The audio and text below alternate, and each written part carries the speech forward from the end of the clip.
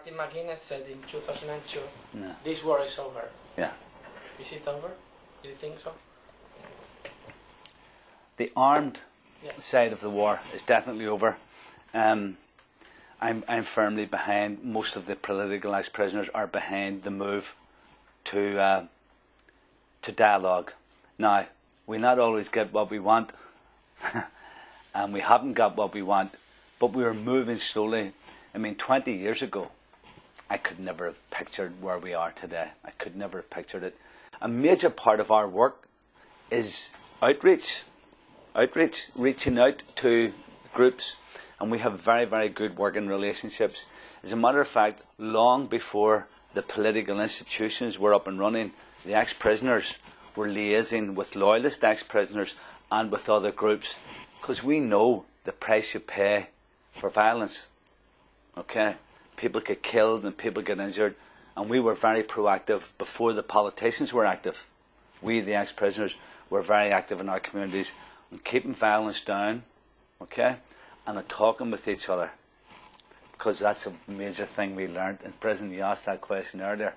Dialogue is vital. Because dialogue breaks down uncertainties and lack of knowledge. You have to understand what Republicans want. We're okay with the peace process and with Stormont, okay? But we want United Ireland. So everything is interim to us.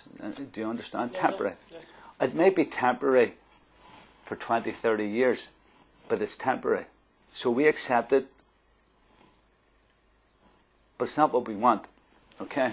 But we will put it up because we don't want any killing. But we know that we're right because it makes sense. Small country, 5 million people on the island. There are bigger cities in Spain and there are bigger cities, cities in France and England. So it makes sense on the economic scale to have a one political setup, a one economy, a one export policy, a one health service. It makes sense. So we know we're right, but we have to sell our message. It used to be that we tried to fight our message to people, but now we will sell our message to people.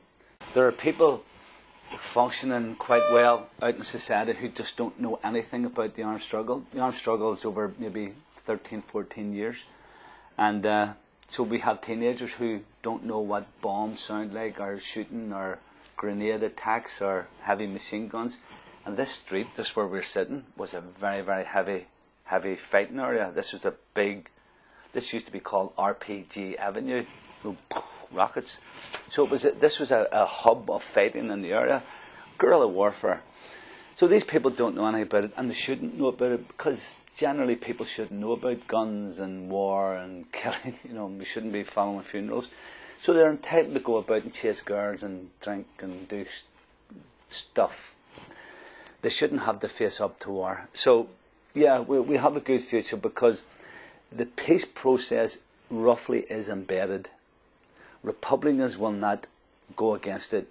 Unionists, because of their perceived threat of loss, might try to end it. I hope I hope they're not successful. We, we, we deserve peace. But bear in mind, what we have at the moment, from our point of view, is temporary.